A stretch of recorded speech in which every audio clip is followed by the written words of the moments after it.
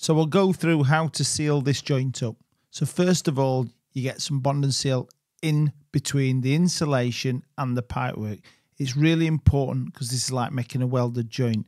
So get it in one side, loads, and then on the other side, get it in between the insulation and the pipework. So get loads all around there.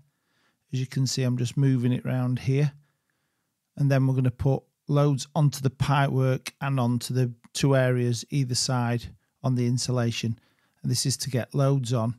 Doesn't matter if you've just got a bit over there, we can take that off.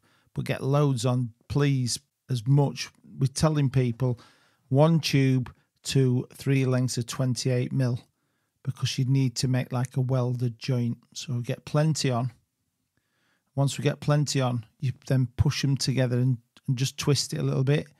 And then what you're doing is you're not squeezing them all together, you're just pushing it on so it oozes out like that. You can see it there, it's just oozing out. Come a, a bit more on one side and a bit less on the other, doesn't matter. And then what you're doing is capping. So now we're capping it and going all the way around.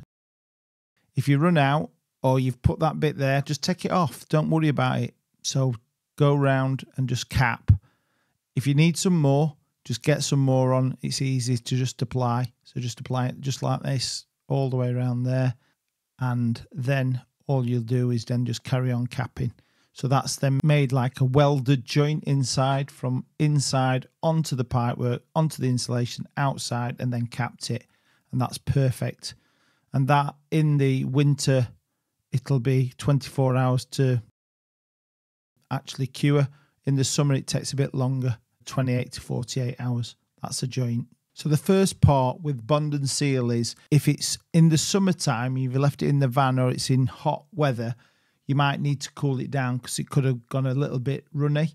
So chuck it into a bucket of cold water for 10 minutes. Now, on the other hand, it could be really, really cold day or in the winter time and it's cold. You might have to warm it up exactly the same into a bucket of warm water. That's perfect. And then it's ready to use.